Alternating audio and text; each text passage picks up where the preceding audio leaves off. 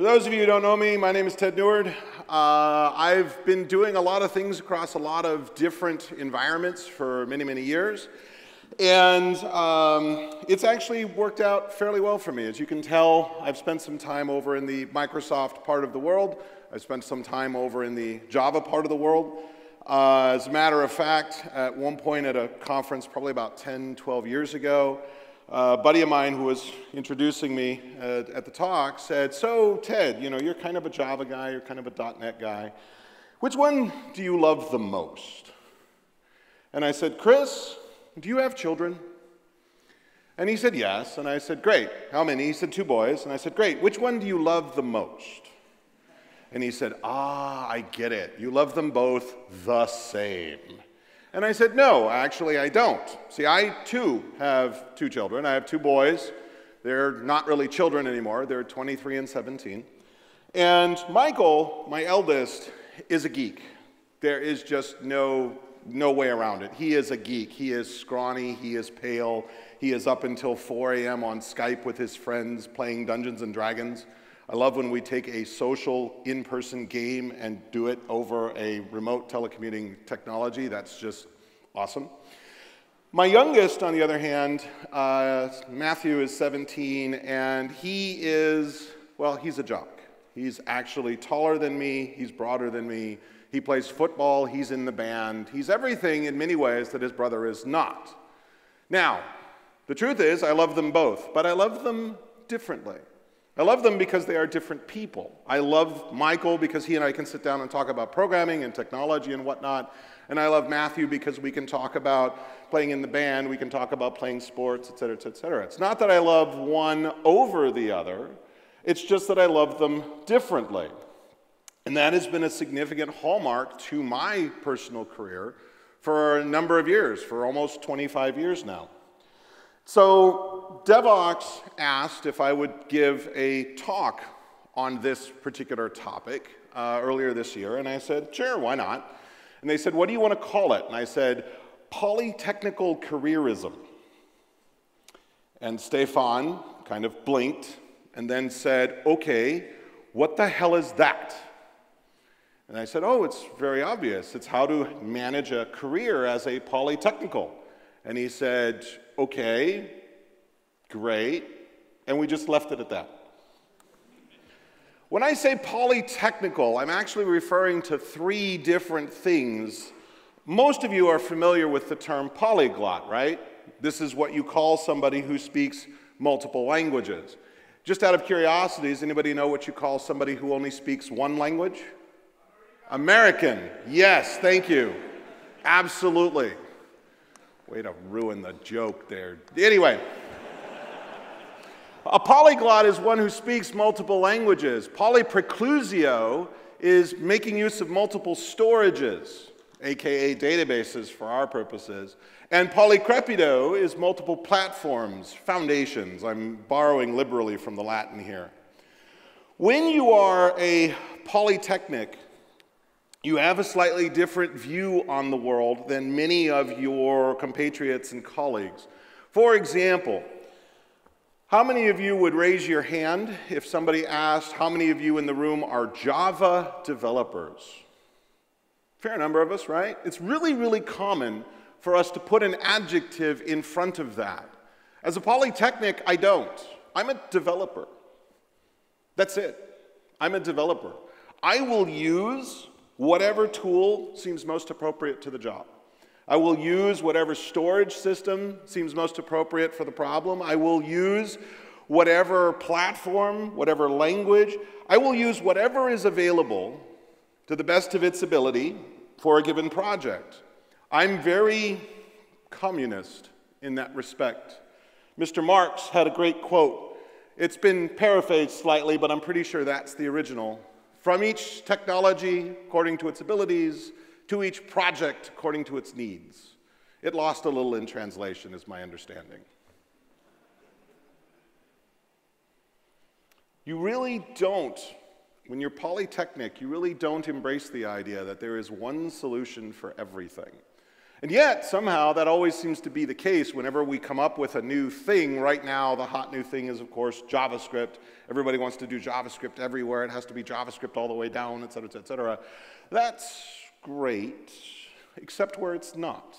There's almost always a part in any given platform, any given language, any given technology where things don't quite work as well as we would like. And this is where having a different perspective can be particularly helpful. The problem is that um, it's kind of hard to do. Because if you think about it, if you've been a Java developer for five, say, years, five to seven years, you're, you know, in many companies that's considered a senior Java developer. To then say, I'm going to turn around and I'm going to throw all of that away and I'm going to start learning Haskell. I'm going to go back to zero. I'm going to be a zero years experience developer. That's hard. It's hard for a variety of reasons. Number one, because zero years developer tends not to get paid as much as a five to seven years developer. And I don't know about you, but I like money. Is anyone in here who does not like money? Show of hands. Because those are the folks you want working on your open source projects, by the way. No? Nobody here? Not, okay, so everyone here is a, a fan of money. Awesome. That takes time. It takes energy. It takes a certain amount of strength, if you will, to say, I'm going to throw away that which I know and I'm going to dive into something completely different. Plus, on top of that, if where you are currently employed is not interested in the thing you want to learn next, now there's a tension between Time spent learning this new thing and time spent that you could be learning something that's directly applicable to whatever your company is working on. And um, in some cases, the things that you will learn will suggest approaches to you that are in diametric opposition to what you currently know. So it doesn't feel like any of this stuff would ever actually be useful. There's a bunch of scenarios that I can talk about in terms of problems that a polytechnical approach could, could you know, help with. And I've got a bunch of, of examples you know, here. For example, if you're working on a project where the logic that you're working on is changing on a routine basis, and by routine I mean every couple of months. If you're working for, say, Amazon, and you are working on the module that will calculate sales tax on a given bundle of goods, I don't know if any of you have ever actually tried to calculate sales tax for a modern e commerce system, but it's actually not trivial. And sales tax, by the way, is different from VAT. Sales tax is what American federal governments and state governments and local governments will slap onto the price of a good just for buying it within their borders. And you don't get any rebates off of sales tax, by the way. And it's different for every city, for every state. It's different in different nations. If you're actually shipping across state borders, sometimes it applies, sometimes it doesn't. If you walk into a subway and say, I'd like a sandwich, whether or not sales tax applies can depend on whether or not you're choosing to eat it here or take away. It is not a very, very simple problem. It would seem like it. Just take the price, multiply the tax, add that to the total at the end. And it changes. It changes every time the government wants it to change. So every couple of years, sometimes every couple of months, if it's really, really bad.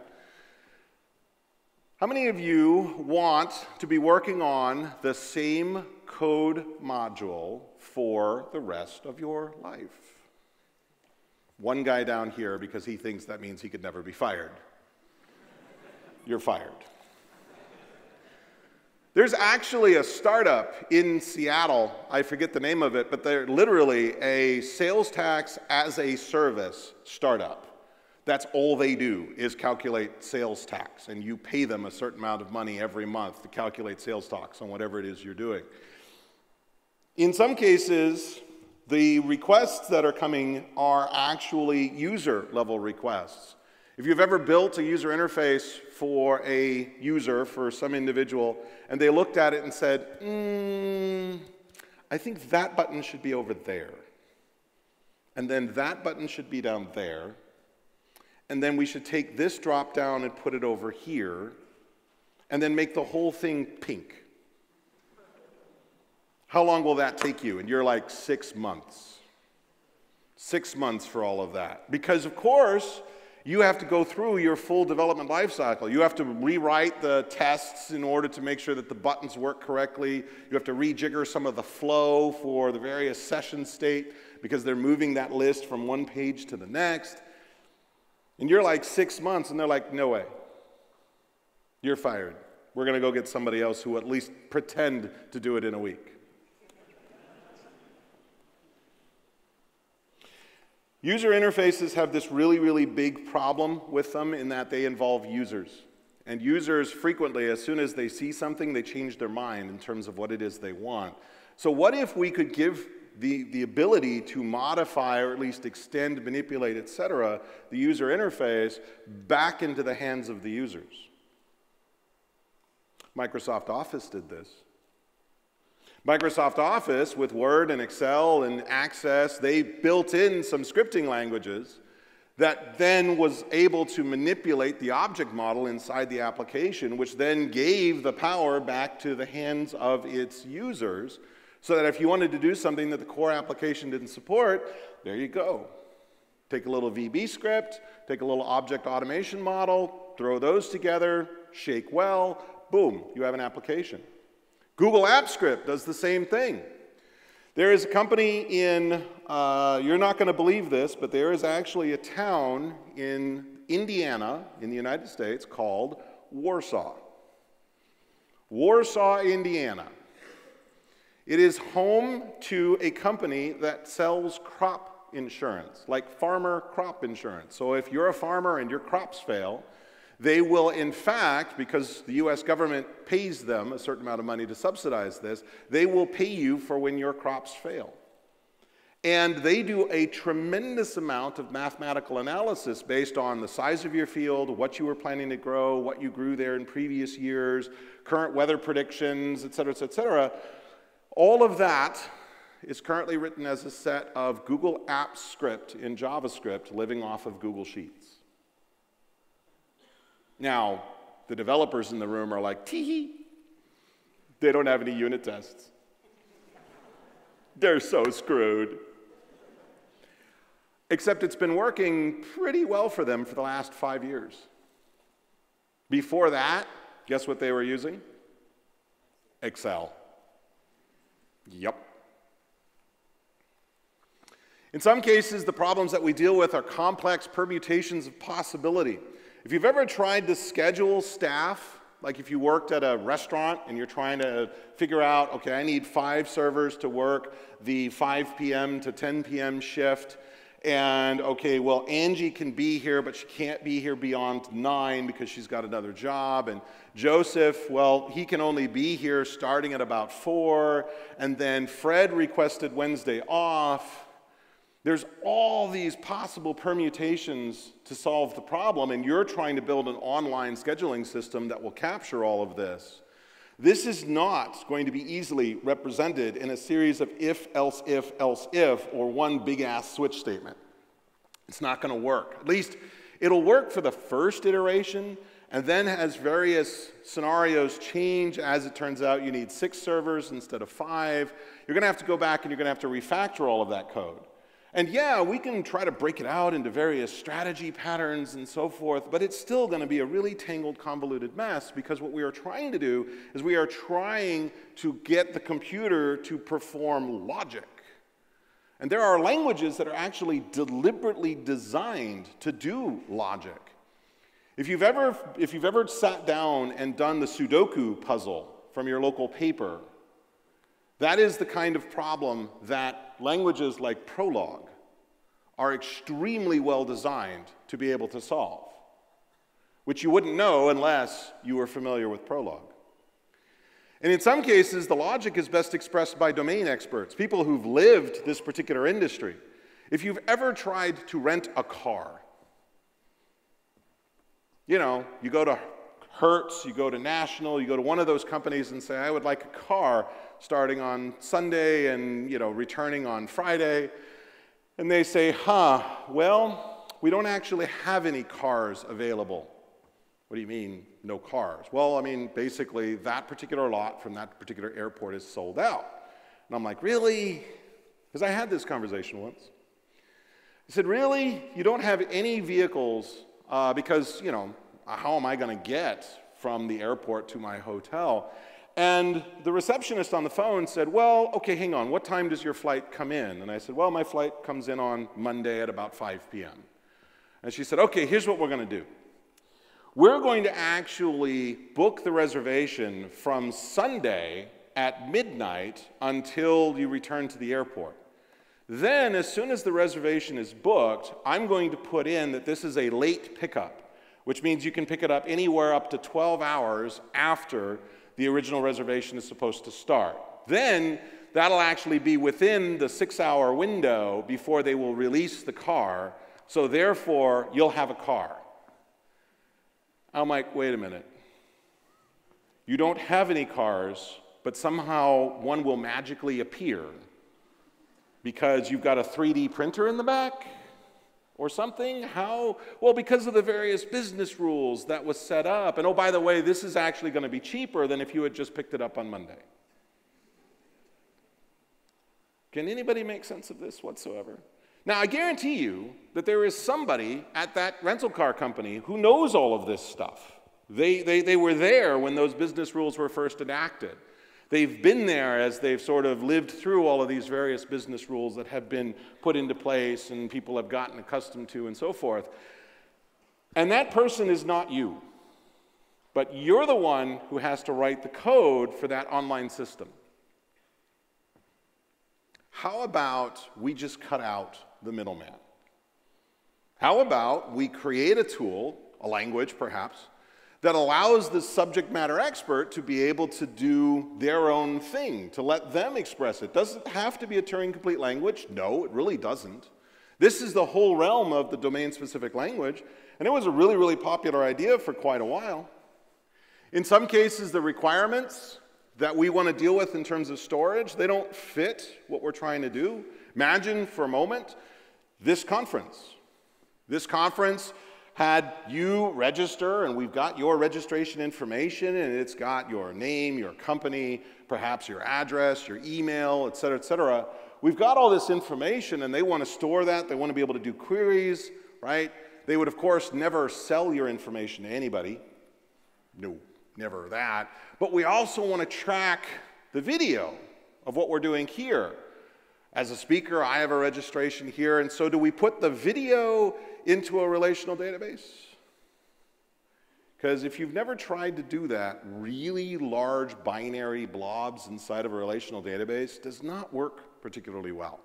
Trying to do a query against the video column really just doesn't end well for anybody.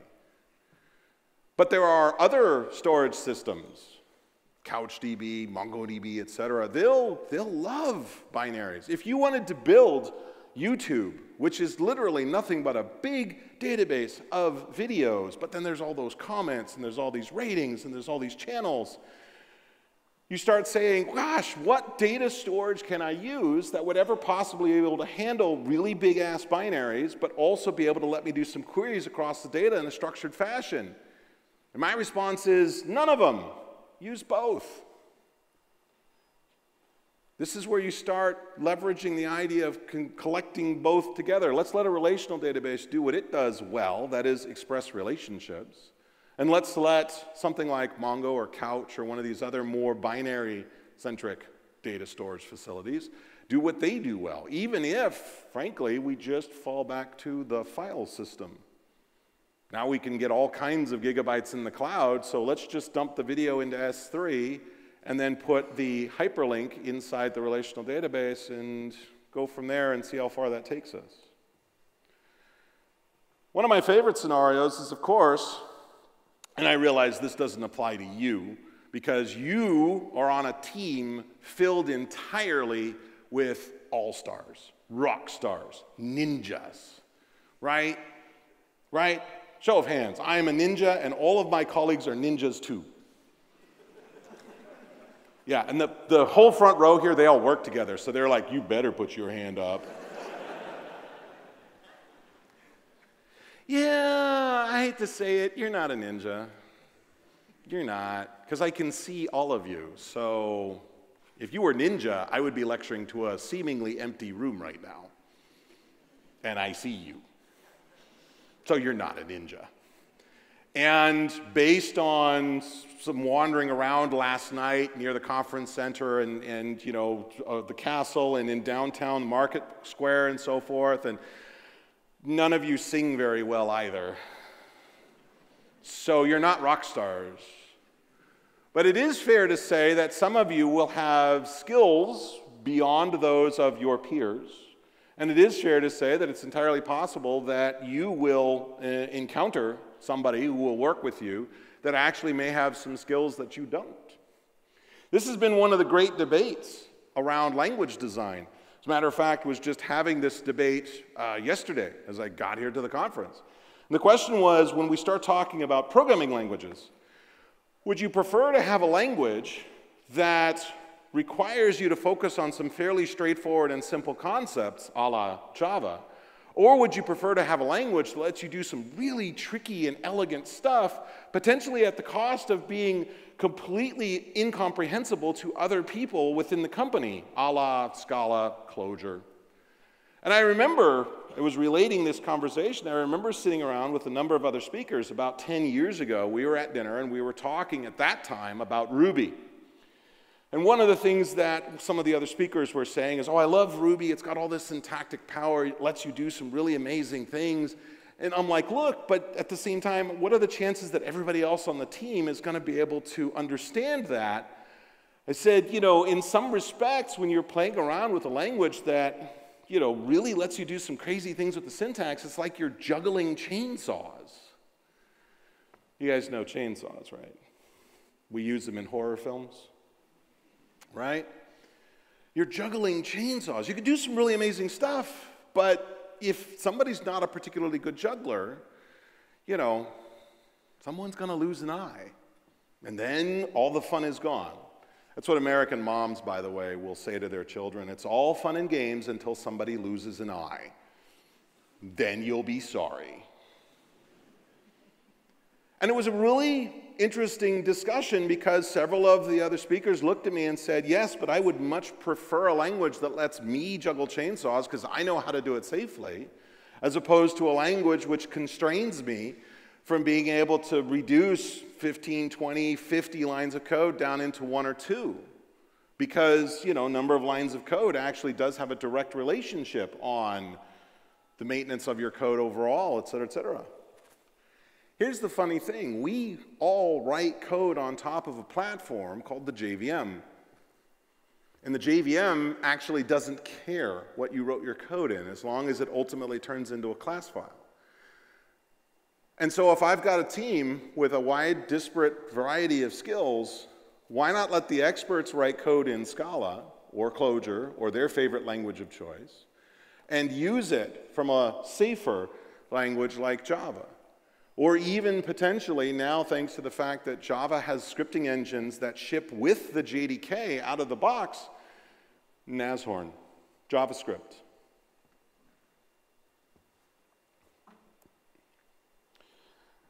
There's a lot of people who will listen to this and will say, no way. I'm sorry. This is, a, this is a fever dream. This is a pipe dream. You cannot take people from such a broad technical background, throw them together in a room, and have something that works. And that's definitely not the case. Barack Obama, some of you may have heard of him. You may also be familiar with his successor, which we won't talk about. When Obama was getting ready to be elected, he specifically wanted to leverage technology. He specifically wanted to leverage the power of the internet. And so, like most campaigns, he called for volunteers and he got a bunch of volunteers. There are a lot of people who are very excited to work as a part of his campaign. But they all came from very, very diverse technical backgrounds. There were some PHP folks, there were some Java folks, some .NET folks. Um, you know, and because this was a Democrat, you know, leftist, there were even a couple of Perl folks, and they didn't get turned away because, you know, Democrats, they'll take anybody, right? Nobody laughed at the Perl joke. That's a little disturbing. They took them all. They brought them together. They said, here's what we need to do. We need to create this nationwide, potentially global if you really want to think about it, because we've got a lot of Americans that are overseas in various capacities. We need a global, worldwide infrastructure. And we need it like yesterday because the election cycle in the United States runs probably about a year in length, year and a half, if you could count the primaries and so forth. In 583 days, they designed, implemented, deployed, and dismantled 2,000 nodes processing 10,000 requests per second with, across three data centers, 180 terabytes, and 8.5 billion total requests. Start to finish, closed out, the whole nine yards. And it, there was no global architecture here. Folks, 583 days, that's faster than what some system architects will take to produce a bunch of PowerPoint slides. All of that is very interesting, but it's very abstract. And it doesn't really necessarily get to what I think is the real heart, the benefit of being a polytechnicist. So let's talk about something a little bit more concrete. How many of you are familiar with Haskell? A couple of hands. Good enough. Good enough. The rest of you are like, I've heard of it. I know it's a language. I know that really, really pretentious people enjoy programming in it. Right? Because the functional guys, right, they will, they will have a tendency to be very, very pretentious. It's all about monads and monoids and the subcategory of endofunctors and whatever.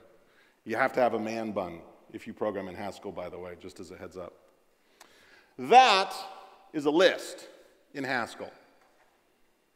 Everybody got that? Cool, we move on. There are a couple of things I can do with lists in Haskell. There are a couple of functions. Head will give me the first element out of the list. Last will give me the tail out of the list. By the way, the uh, curly bracket dash syntax, that's the comment facility in Haskell, and that's just showing you what would be printed when you print this out. Tail will give me the remainder of the list after the head has been trimmed off, so we can see that tail gives me two and three. And uh, take says, let me take, let me return a list consisting of the first n number of elements of that list. So here, when I take two, I'm getting one and two out of that list of one, two, and three. So far, so good, right? Awesome.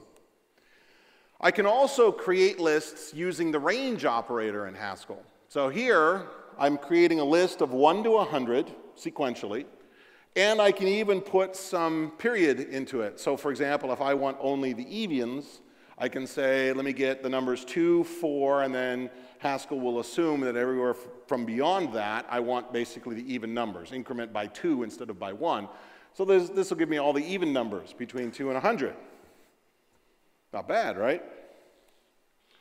The other thing that Haskell can do with these lists is we can actually manufacture them directly out of code. This goes by the rather academic name of a for comprehension.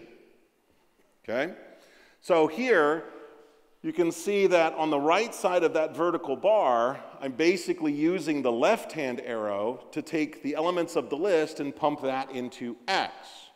What this means is Haskell will go ahead and iterate, if you will, over that right-hand side, and each time a new value for the list is called for, we'll get it from the code on the right-hand side there. Now here, you can see in squares, the second one, you can see that I'm doing the same, but then I'm actually saying x times x. I'm manipulating that result before I actually return it. And these will return what you would expect. The first one will give me uh, 1, 2, 3, 4, 5, 6, 7, 8, 9, 10. The second one will give me 1, 4, 9, 16, et cetera, et cetera, all the way up through 100. If you've ever been challenged in a programming interview, by the way, on how to do FizzBuzz, this is the very simple algorithm that says count from one to some number. And if the value is divisible by three, print out fizz. If it's divisible by five, print out buzz. If it's divisible by both, print out fizz and buzz. And here, it's a slightly modified version, but this is the exact same code, but it's all done in terms of a Haskell comprehension. Take the numbers 1 through 25, pump them into X, and then either keep X or we're going to use uh, buzz fizz or buzz or fizz or etc. At the end of the day, it's just code. It's looping, it's calling, and it's returning. Now, one of the things that Haskell will let you do is do what they call an infinite list. So remember our range operator from before, one dot dot, means this literally never terminates. That list will, in fact, be infinite. And trying to print it, by the way, is a bad idea. Ask me how I know. There's even a method in Haskell called cycle, which will take a list and repeat that list ad infinitum. That is to say, it'll be a never ending list. So here, what I can do is I can take three from the list forever love and that will take the first three elements of that list love and love, love, love.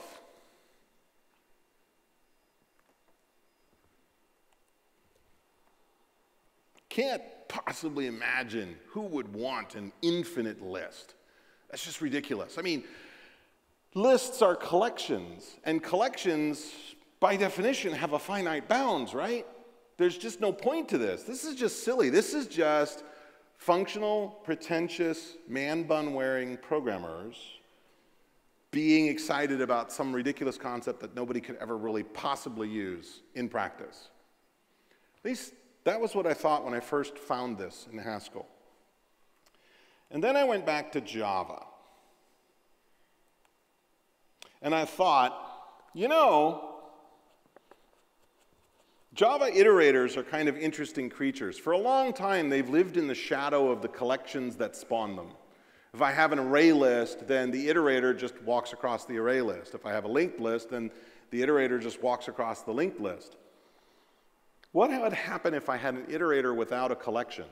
Because that's kind of what a for comprehension is doing in many respects. It's producing a value each time you ask for one. And so that's kind of like an iterator that knows how to manufacture the next, val the next value that you're interested in. There's not really a collection there. There's not really a list. It's just every time you need a value for the list, you go to the for comprehension and say, give me the next value. So for example, if I really wanted to try to capture that, that concept in Java, I could create an iterator, or in this particular case, I'm going to create an iterable and that iterable knows how to manufacture an iterator, and that, that iterator in turn knows how to manufacture an integer. Now, it'll keep track of the current count because it needs to figure out what's the next value I'm going to give you. And, you know, in this particular case, I'll say that this is an even numbers comprehension only up to the value of 100 so that I can just, you know, has next will say when I'm at 100, stop, right? Because again, infinite lists, those are silly. And then to use this, because it's an iterable, it knows how to manufacture an iterator, which means it can be used as part of the for each in Java. It's kind of interesting. This is a ton of code, though. I mean, it would seem a lot easier just to do a for i equals 0, i is less than 100, i plus equals 2 and go from there. That doesn't seem like we're really gaining anything, right? But if I start thinking about the idea of an iterator that doesn't have to be tied to a collection, the iterator just knows how to manufacture the next value. Again, that's basically what the for comprehension is doing in Haskell. It's just manufacturing the next value, or it's obtaining it from somewhere even if it's not manufacturing it out of thin air. So, what if I were to create an iterator of string that knew how to read from a file? In other words, I'm going to open up a buffered reader, right? I'm just going to put a buffered reader around whatever file I'm interested in, and then manufacture an iterator that will continue to read until there are no more lines left. Now, because of the peculiarities of how Java does iterators, we have to actually prefetch the first line in order to know whether there's a line there so that has next can return true or false. But now I have an iterator that knows how to read a file, which means, again, for each. Now, granted, there's a pesky I.O. exception you have to deal with here, but you know, if you're like most of us, you'll just put that into an empty catch block and ignore it. Or better yet, you'll write it to the system log file and let the system administrator deal with it, because that's what they do, that's their problem.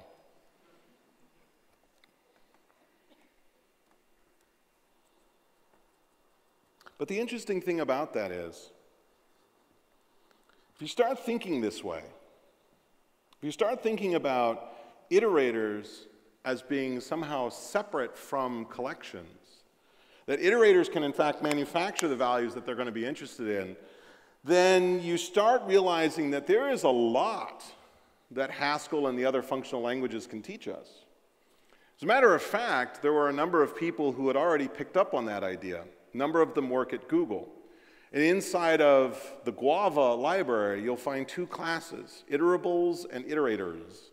And they have a series of methods, including the aforementioned take that I showed you from Haskell, to just grab the first couple of elements out of a collection. The important thing to note about this particular file iterator example is you'll notice that the memory pressure here is nil.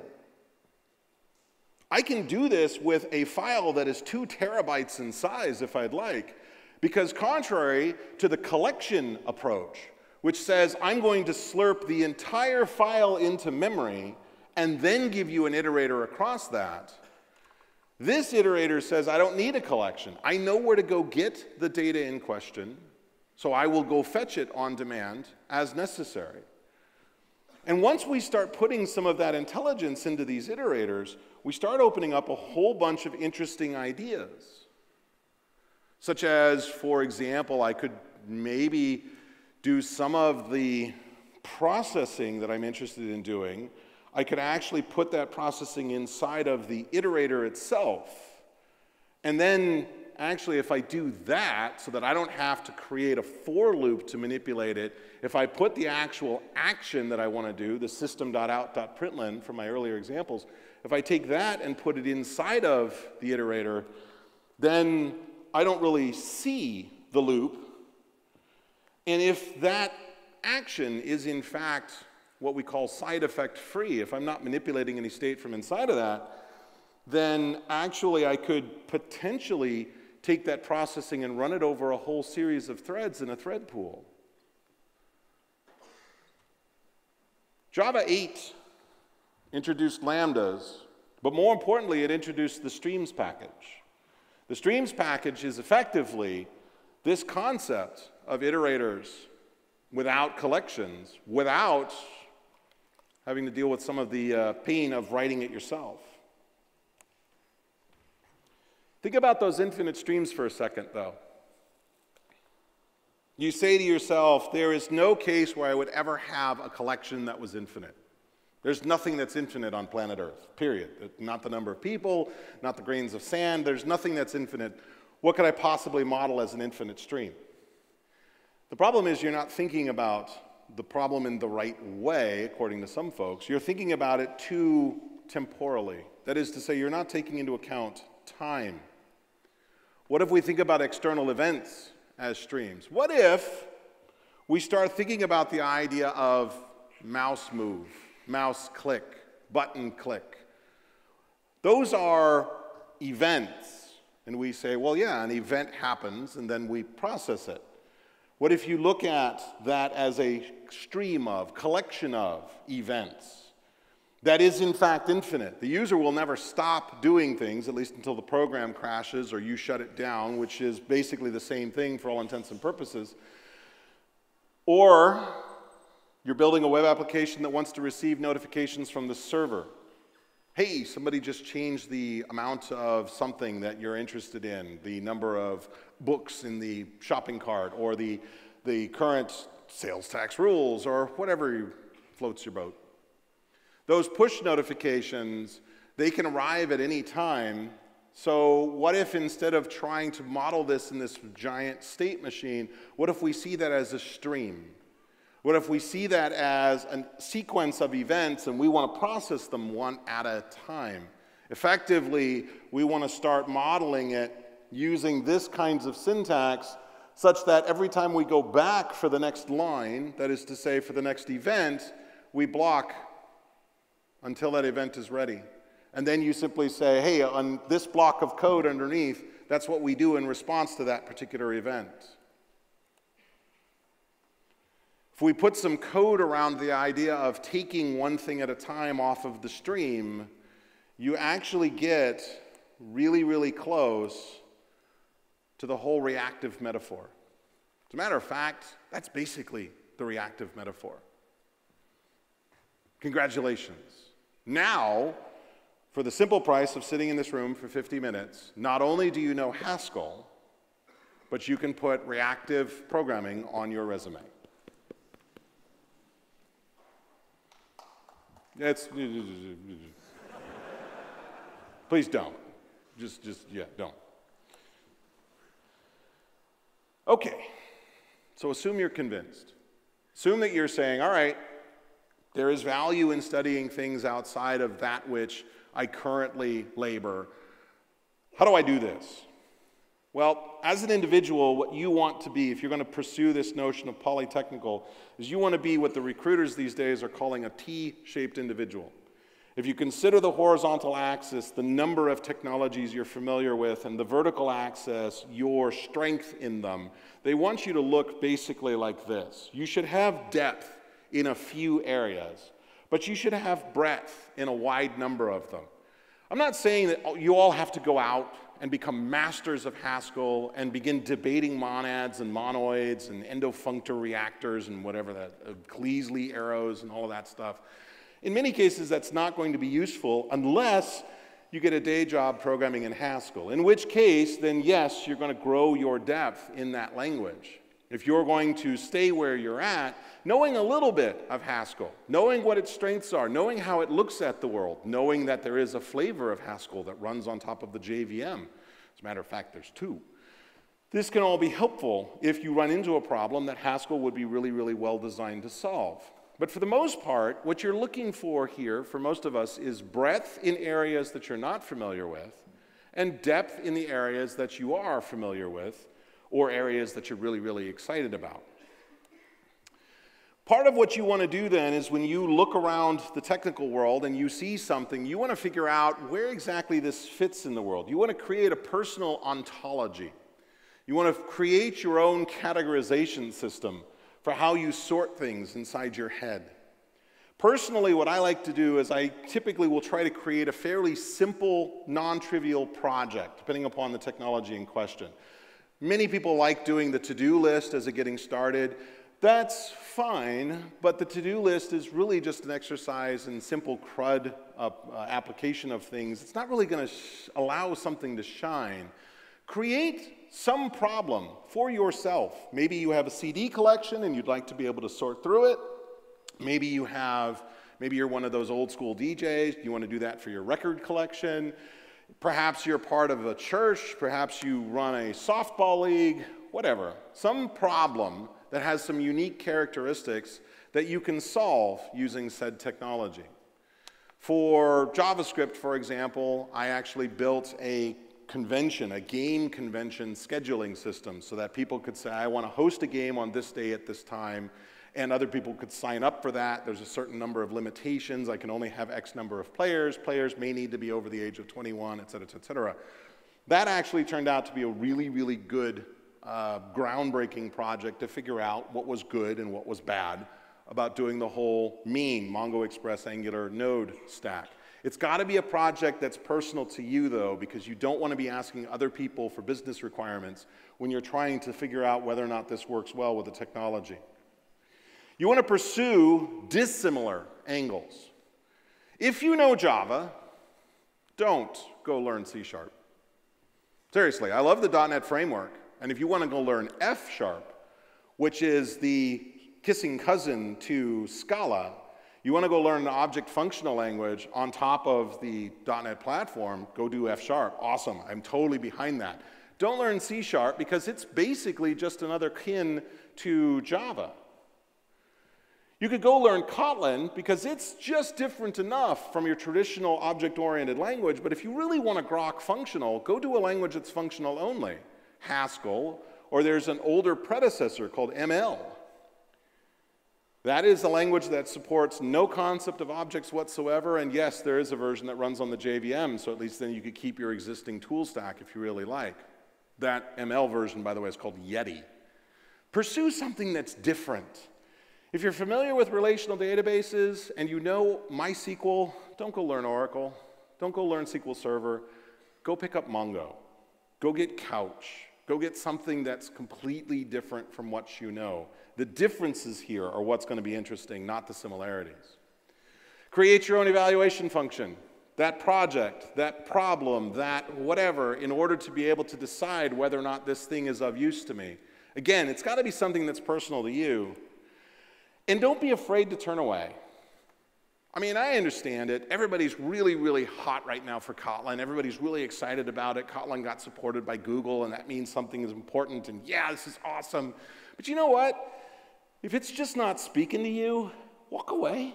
It's okay. It's your time. It's your life. It's your career. You have to choose where to spend it. Would you really be interested in learning some of those concepts if they're just going to dredge up painful and terrible memories of having to slog through something? When I was in university, I actually took a programming class that did C, which I was really good at, and Prolog and Lisp. And Lisp totally kicked my ass. I could not wrap my head around those parentheses to save my life. I got straight A's on the C part of the course, and I got straight F's on the Lisp part of the course. The professor actually was concerned that I was dying or something. Because he's like, I've never seen anybody, you know, that badly. Lisp remained a foreign space. I mean, every time somebody joked, every time somebody said something about Lisp, I made a joke out of it. You know what Lisp stands for, right? Lots of irritating, silly parentheses. That was my go to joke. And then, probably about 10 years ago, because of the crowd that I was hanging out with, speakers and whatnot, people started picking up Clojure, started looking at it, started showing me some of the benefits. It's like, oh, now I begin to get it. Okay. But it took me 20 years before I could come back to it. If you are a dev manager, you want to embrace the T shaped team. The broader your team, the more powerful they will be in addressing a wide variety of scenarios. So don't hire Java developers, hire developers. As a matter of fact, if your team currently is working in Java, go out and hire a C sharp developer who's wanting to make the cut over. They'll talk to you about LINQ, they'll talk to you about Visual Studio. You won't have the foggiest clue what they're talking about, but the conversation will be valuable because you will discover that there are things in the .NET world that we are only beginning to discover in the Java world. And that will make your decisions around technology that much stronger. Establish formal dissent. Have you ever been in a room where your manager says, We are not leaving this room until we all agree on what to do next. Management by consensus is a manager's cheap out. It is the manager saying, I am afraid to exercise my power to move us past an obstacle. Dissent is healthy. Dissent is important. There are psychological studies that will show that unless somebody dissents, you end up creating this culture where everybody turns into carbon copies of each other, and you lose the ability to innovate. Designate one person to be the dissenter, the official dissenter, to say, you will argue with whatever we say. I tend to have that role in my family as well as at work. Set some non business goals and constraints. It's not always about just the technology you use, you also have to relate it back to the company's goals. What are we trying to do? How do we make money? If you cannot answer, how does your company make money? You are missing out and you are probably going to be in the next round of layoffs. What is core business? What isn't? Same thing. How do we make money? What exactly do we care about? And accept that you're not always going to be able to hire full stack developers. Pull in a DBA, teach them some programming. They won't be the best programmer to start. None of us were when we got started. But they'll have very interesting perspectives on what should be stored and what shouldn't. Pull in that JavaScript HTML nut who went to web design school, dresses in all black, has like two earrings in this ear, one ear in that ear, wears a man bun. Because he'll have some perspective on how we should design things and that will in turn lead to some interesting Im implications around system architecture, et cetera. You do not want to hire the same person over and over and over again. Diversity, both in terms of racial and gender as well as technical background, tends to yield the best results.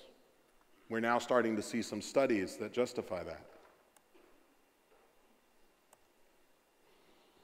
This isn't easy. I'm not going to stand here and wave this really Pollyanna, it will all be amazing and you will all be brilliant and everybody will be handsome and, you know, good. And that's not. It's hard because there will be pressures on you to sort of conform to the rest of the crowd.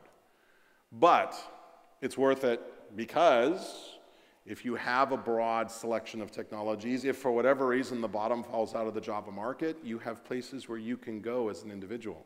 As a team, if you are a polytechnical team, you actually have options in the event that your boss comes and says, oh, yeah, by the way, we actually need to stop doing Java. We are completely moving everything over to .NET because our senior vice president just had this really, really important meeting with some folks, and now we're a .NET shop. Because to you, it's just technology. It's just a tool. You show me a carpenter who only uses his hammer, and I will willfully retract everything I have said here. In the meantime, don't be a hammer only carpenter. See ya.